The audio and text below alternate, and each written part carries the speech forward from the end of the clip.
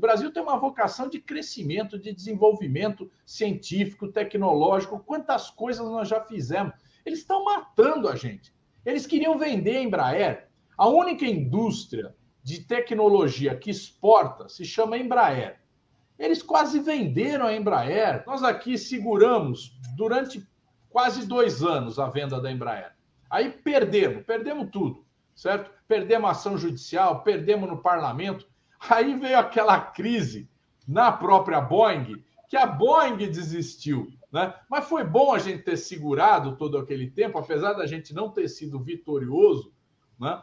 mas a gente atrasou o processo e com isso a gente conseguiu chegar num ponto que a própria Boeing desistiu. Aí eles diziam o quê? Ah, a Embraer vai falir se não for absorvida pela Boeing. A Embraer está dando lucro, está é. dando lucros e mais lucros. Então, quer dizer, conversa rastaquera desses caras que querem desnacionalizar a indústria brasileira ou acabar com a indústria brasileira.